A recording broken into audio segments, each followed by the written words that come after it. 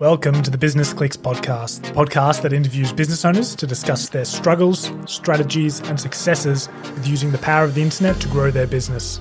We discuss the transition from brick and mortar growth strategies to digital alternatives. We provide new and exciting tactics each business can use to be successful in this new digital world. I'm your host, Adam Barbaro, and let's get stuck in. Okay, welcome to episode one. Thanks for joining us today um, we have Richard Dixon from Connects Realty. Uh, yeah, g'day. Rich is here actually over the phone, thanks to the current COVID lockdown that has re- made sure that we've been back working from home or in restricted spaces. And before we get started, Richard, Richard, I wanted to ask you, what is one thing that you believe that will make a successful business in the years to come? I think what will make a successful business? That's a very interesting question because I haven't given that a whole lot of thought. But, you know, being a small business person myself, I think that uh, one of the things that will um, will benefit uh, a, a, small successful business would be obviously their digital marketing.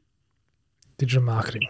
I would have to agree with you for that. I'm, I did not even put him up to say that. That's just what he said. but I basically yeah.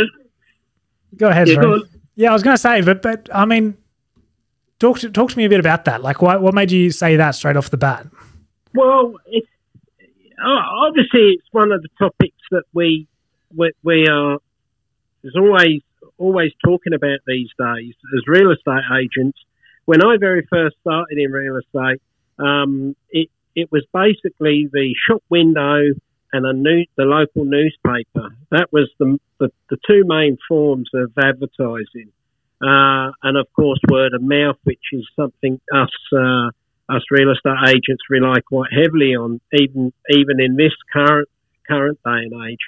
But uh, as things have developed, you, you, I'm blown away by how we can um, get our message out there as as real estate uh, agents um, through the uh, so, uh, social media, um, uh, through the internet, like what we're doing now, podcasts, um, videos. We we use video a, a lot in our in, in our presentations uh, of properties, certainly through the internet. Um, one of the things that we at Connect Realty um, got ahead of was the virtual inspections.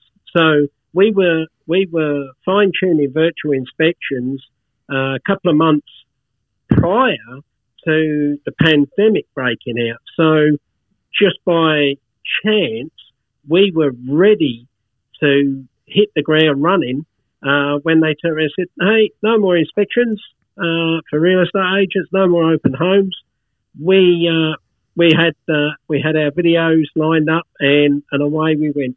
That's really curious. Is there a, is there a reason why you actually before COVID? What made you what what prompted that? What made you think, hey, virtual inspections would be a good idea? Was that just a bit of a forethought in terms of seeing well, how people are reacting and wanting to come to actual um, viewing properties? Well, what I what I what I've learned is that, um, and I'm not by no stretch of the imagination a, a, a digital person. Um, you know, with all the the marketing techniques that uh, that we have uh, these days. Um, you know, I, but I've learned I've learned to grow with it, and uh, one of the things that uh, that that I've realised is that well, look, you know, we go online and we we we, we watch videos of, of products being sold. Well, our product's no different. We just get it online and put it out there to the world. Yeah, definitely makes sense, and I think I think that's that's something which takes is is is very easy when someone says, "Oh yeah, we were doing that beforehand," but I don't think too many businesses are able to sort of stop and look at uh, customer behavior behavior like that and look at where attention is, and then say, "Hey, we could do the same." I think that's probably that's a quite a unique way of looking at things, to be honest. Yeah, look, uh, I just think that you need to, to, to be innovative. You need, you know, people say, you know, about reinventing the wheel. Well, um, the reality is, uh, we're always trying to reinvent the wheel for it to run smoother, more efficiently. Uh, so, um, yeah, I tried to reinvent the wheel. Yeah. Uh, do you reckon is is there something in your background, your past? Is there other past jobs or previous businesses or anything that made you that made you think like that? That made you you, think developed that sort of keen sense of looking where people are spending their time and attention that helped with you doing that? Or do you think it's something um, that just by comes from looking at your business in a holistic way? Yeah, um, it was a combination, really. Uh, I just found that you know my buying habits. Uh, you know, traditionally we'd hop in the car on a uh, on a Saturday morning. We go down the shops, uh, do our shopping, and you know look through the windows of the shops, and uh, and it was you know just the the fact that you know that this whole revolution of internet shopping um, just triggered the thought process of, well, what can we do? You know, how can we, you know, stay ahead of the crowd? What can we do to to stand out from the crowd? And um, you know, as as real estate agents, uh, show show ourselves as a as a uh, you know a, a leader.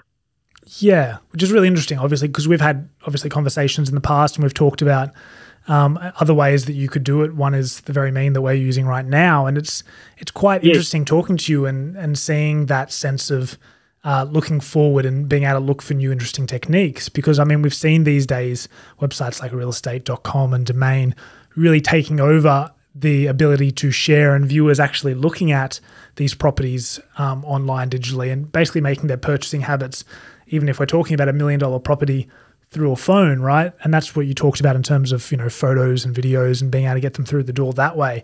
So it's interesting that you're then now looking at it looking at it as a product just like any other product, which I think is I think not too many people do regardless of what industry they're in. Yeah, so what, one of the things that, that we try try to do is drive the traffic to our website, connectrealty.com.au. And the reason for that is because we don't want the, uh, our customers obviously looking at the other shop windows. you know, they want we want them looking at ours, and if we can make it interesting, um, then uh, you know we can retain, uh, I suppose that that uh, that customer base and and continually uh, driving traffic to to our website. One of the one of the things that we've recently done is that uh, we have um, uh, developed calculators. So on our on our website, uh, we have uh, calculators for calculating stamp duty, um, calculating costs of purchasing a property. A lot of people, you know, who are looking for their first home or their first investment, they, they don't fully understand, you know, what. Well, most of them don't don't understand uh, the, the full extent of the, the cost of getting themselves into that position of uh, having their first home or investment. Yeah, uh, that that's really interesting to me because I think I think a lot of the times we, you know, rely on other people showing showing tools already, and one of the most primary marketing techniques you can um, techniques you can use is getting people onto your website, so it becomes traffic that you're able to control which I think is you know the, the main purpose behind things like Google Ads and Facebook Ads is to make sure that you're able to control where that traffic is going. So it's interesting that you're doing or doing that already and not just relying on platforms like realestate.com. Is do you have certain strategies that you're implementing at the moment that make that a bit bit more of a funnel, a bit more of a smoother customer journey for your customers to, to get them onto your website? Yeah, so we use um, we use it, uh, the other social media platforms. Um, we use Instagram, uh, we use uh, Facebook, and uh, one of the things that we, we have on, on Facebook is uh, a VIP um, page where you can, uh, as a, a, property seeker, uh, you can register on our Connect Realty VIP page, and you will get a a preview of the properties that are about to come to the market. Yeah, right. And that and those links are then leading them on back to your website. Is that correct? Yes. So the, the, the whole the whole the whole purpose is to drive as much traffic to uh, connectrealty.com.au as possible. Yeah, I'm curious because that's. I mean, this is really this is all really good stuff, right? This is how, this is how we would teach sort of any business to start sort of pushing traffic towards their website. and the fact that you're doing these already well, is really good. But do you have any? Do you have any troubles, or have you had any sort of maybe specific wins, or anything that really stands out of that's made that difficult or made that easier? No, look. Um, to be honest with you, um, just just thinking about you know, I mean, I've got a great team behind me. Um, they, they're just outstanding. And So uh, everyone who works in Connect Realty, they have the same uh, thought process, uh, which makes it very easy. So you know, we're, we're all on the bus together, um, and uh, when you have that, that, I suppose that synergy, it makes life so much easier.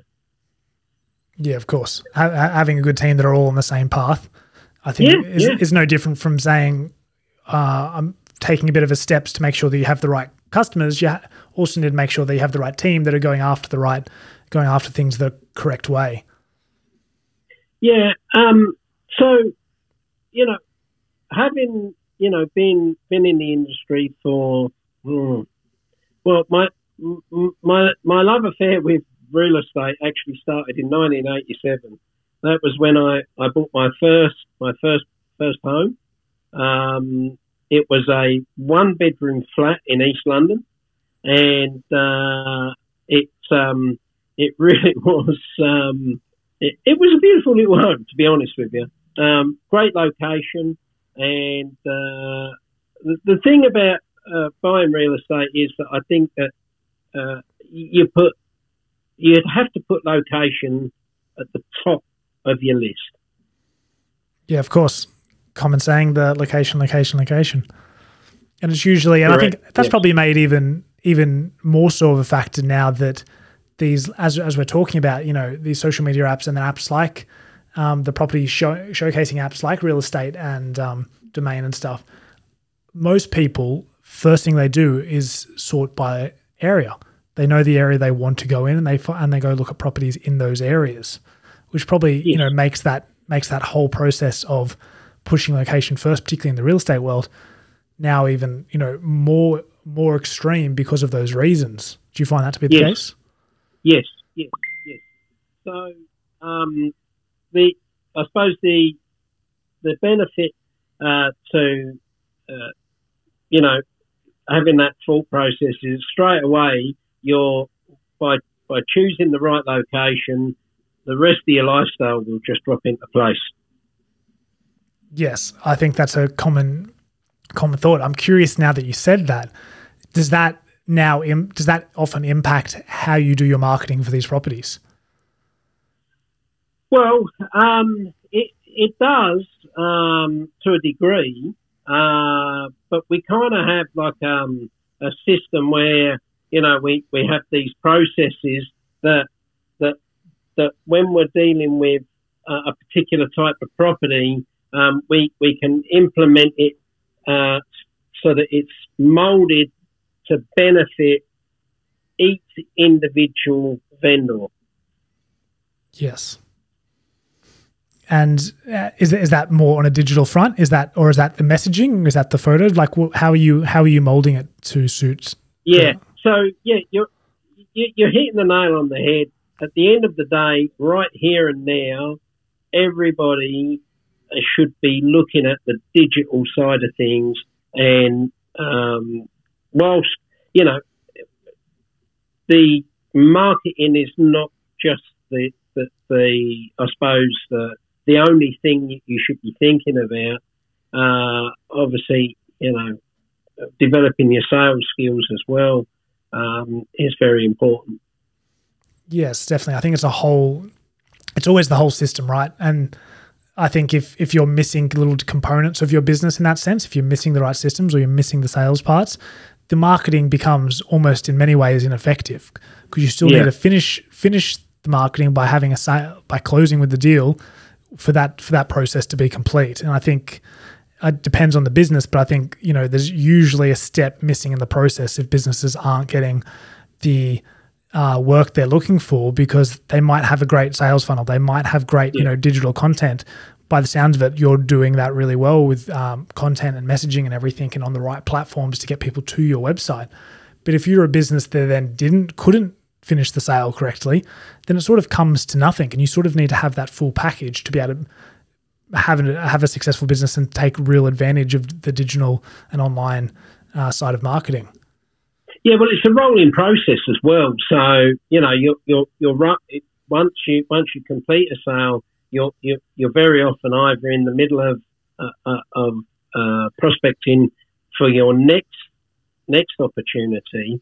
Uh, so it just rolls on and on and on. And you know, if you've got good good tools, uh, like you know, like say, just the CRM for for for, for instance. If you've got a good CRM, away you go, um, and then all the rest just falls into line. Yeah. Did you have any? I guess I mean obviously you've been in business a long time, so things like building up an email list on your CRM over a period makes that easy because that's something that does usually take time or will require Facebook advertising and things like that to be able to gather those leads. Are there any specific components that you had difficulties when making those more transition to online sources and to social media that really, you know, caused a bit of a headache for you? Yeah, look, I mean, certainly, I certainly have had challenges um, because I was very much a hands-on person. Uh, when I very first started uh, selling real estate, and we're, we're, going back some 20 years now, uh, I walked into my first real estate office and they said, "There's your desk. There's a a, a phone, a piece of paper, and a pen. Um, start prospecting. Uh, no training, no nothing, um, and uh, cold calling. Don't ask me how, but it was a sink or swim situation, and uh, I, I, sw- swam like mad. And what, what, what did you think that you learned the what was the biggest learning point from doing that? Do you reckon? Do you reckon it was how you talk to people? Do you reckon it was the messaging? Do you reckon it was how you structure conversations? Where where do you think you found the gold in, in doing those? The, the, biggest thing I learned was how not to treat staff and how not to treat people. Yep. Yep. It was it was a it was an, an enormous eye opener for me. Um, that that business is long gone broke, um, and uh, it certainly doesn't surprise me. But um, you know, I, I, I, cut my teeth there, and I was grateful for the opportunity. Uh, and uh, and then I, I, I moved on and, and, worked for one of the, the larger, more organised uh, real estate groups. Yeah, I think I, I think it's funny that you say that, right? I think it's interesting that a lot of these, I, I found a lot of the same topics that people like to talk about and be like, oh, that's actually, you know, I wouldn't discount that, although it's something that people mention all the time, such as how you treat people and how that affects business success. It's something that mm. people say, you know, the books How to Win Friends and Influence People, you know, hugely millions of copies sold around the world. So it's a very common book. And yet, how often do people actually implement those basic learnings of treating people well? You know, doing. Well, it's, it's, it's interesting you should uh, mention that book because um, I was never never much of a book reader, uh, to be honest with you. Yep. Um, but um, you know, there was a couple of books that I read when I was growing up, which I I, I took great interest in. Um, but the first first like I suppose professional development book that I ever read was that book uh, by Dale Carnegie, yeah. and um, you know I it was actually a very, very helpful book for me because um, it, it it taught me one one thing, and that and that is um, that uh, it was it was much easier um, to be a salesman by by saying less is more by saying nothing when you could quite easily say quite a lot. Yeah, definitely. I, I look at that and I, I, I just say, I think it's one of those things where you start learning something about a topic and you you know you feel like you have to get more complex and more detailed until you get to the stage where you learn all those more complex more detailed things and realize that the basic fundamentals worked better than the more detailed you know complex ways of doing things ways more complex ways of marketing and you know more complex ways of doing sales more complex ways of building relationships.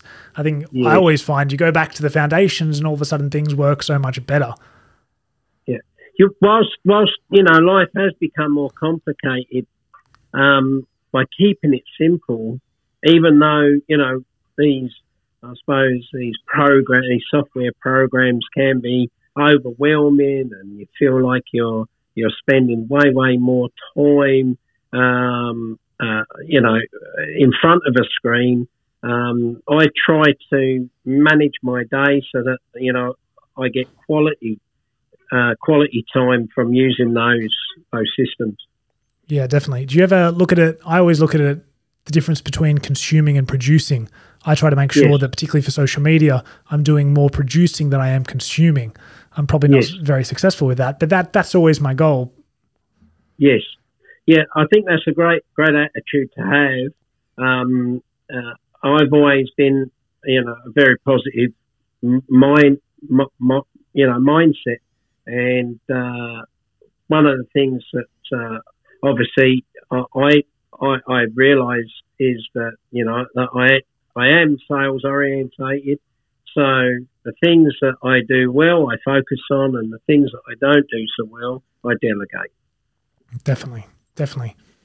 I think you know just by having this conversation, obviously talking to you and knowing you previously, I think that you've got a very good sense, and it's probably come from both experience and having I think a bit of a business business business owner's mind in the sense that you're looking for these opportunities. Talking about yes. doing those uh, virtual walkthroughs of properties, you know, prior to COVID, is something that I didn't know you had done. But I think is I think it just sort of exemplifies the type of thinking that you need to have in order to take full advantage of the digital world moving forward. And I think a lot of business owners at this point in time are probably maybe not fully realizing or fully taking advantage of the point that we're in the ver- very early days of these systems you know controlling yeah. controlling our yeah. lives in many ways and being able to you know build audiences and build reputation and brand now is going to pay off tenfold in 10 years time. Yeah. Well uh, uh, one of the things that um, you know talking about digital marketing uh, and obviously that's one of the one of the key subjects that we're we're, we're focusing on today. Um, I'd just like to go back um, when my children were tiny uh, we used to go to Sclater Street Market in, in the East End of London on a Sunday morning, and we would sell T-shirts. We'd stand there and we'd scream our guts out. And my my little daughter, she was only two or three at the time, and we'd have we'd actually have a great time uh, selling these T-shirts. Well, with digital marketing these days, uh, you, you would you would be on you would be online. You would sell probably 10 times what I would do in, in the market. So, you know, if you go through markets now, they, they are no, nothing like what they, they once were. And, and a lot of them have just disappeared because you can take a product like that, put it on your virtual shop and, and like I say, sell 10, if not 20 times more product. Yeah, and I think I think it makes sense, but I think more the most important aspect of looking at that is is the sales happen because that's where the people's attention is. That's where people are spending their time. Not as like as you just said, not as many people are going to the markets, but what mm. are they doing? They're probably sitting at home on Facebook. So if, you, if you're there on Facebook, then you're going to make the sales not necessarily because it's digital, but because that's where people are spending their time. And if you're able to assess and look at the where the real opportunities are with people's attention, that's always where the I think the biggest gains are gonna gains are going to occur. And that, that yeah. might be a very obvious place, but it might be somewhere where your industry is not yet um, as as as developed as other areas. Well, we have started. We have started. We have started to develop in that that area, and I think uh, cars cars are a good example. You know, people are moving to, to purchasing cars online without even actually sitting in them. Uh, and I think that you'll find that in, in years to come, the, the, same way will happen with houses. Uh, I don't believe everyone will will move in that direction because you know a, a lot of people are you know um, uh, they like to you know tactile. They like to feel uh, feel it, touch it, see Experience it. it yeah. You know, um, but you will get you will get an element of that that is is purchase online. I, I think that you know in years to come you'll you'll have the building report online, uh, you'll have the contract online, you'll have the the property online, each each room virtually viewed, uh, and and I and I do believe that you know that that will happen. Um, whether you know it happens in my lifetime or the next one I, is yet to be seen. But uh, I certainly think that there is um, a lot more, uh, I suppose, development to come uh, in the real estate industry. I've seen changes that I never thought I would see. You know, I never dreamt of uh, this um, this whole digital marketing side of real estate. Yeah, well, exactly. I mean, I, I hear about people talk about how back in the day they looked at, you know, things like Facebook, things like even the internet as a fad, as something that wasn't going to go mainstream, wasn't going to push those boundaries. And I think that's only going to continue to develop. We see that now with things like cryptocurrency, where people are like, oh, it's a fad. Yeah, it's a thing. I, I was shocked. I was absolutely yeah. shocked. I'm actually um, curious to know your opinion on whether you think um, how things like AR and VR, if they get to a point, do you think that's going to be a massive component of how you sell homes in the future? Um, look, uh, I think that um, I think that it's limitless. To be honest with you, the you know the, the uh, I'm struggling to find the words, but the limit there's no bounds. I think to the way that we're going to be marketing in the future.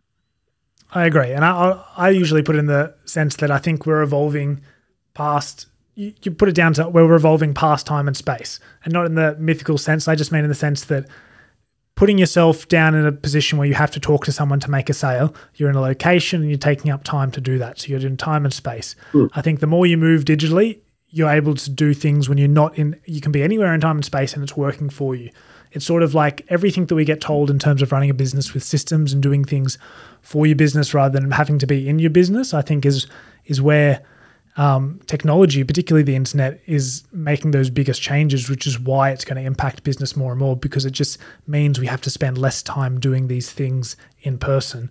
We can do like what we're doing now, where having this conversation once, recording it, and yet it's going to be out there for people to listen to forever.